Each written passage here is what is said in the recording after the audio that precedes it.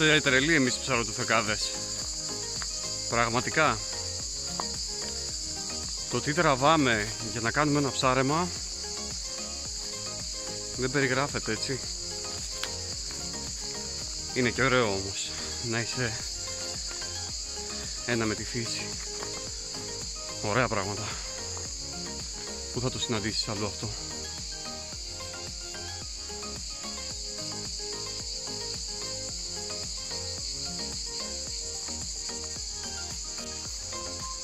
Ωραία πράγματα. Τζιτζίκια, πουλιά, πράσινο, μυρωδιές από τα πεύκα. Πανέμορφα είναι. Άντε καλά να περάσουμε παιδες.